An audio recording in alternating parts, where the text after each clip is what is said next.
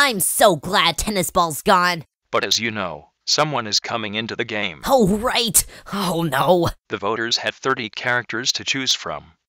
Let's see which one will join the game. And there now go. We shall see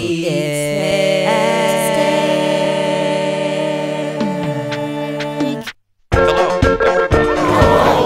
Well, let's get to it. So we got a total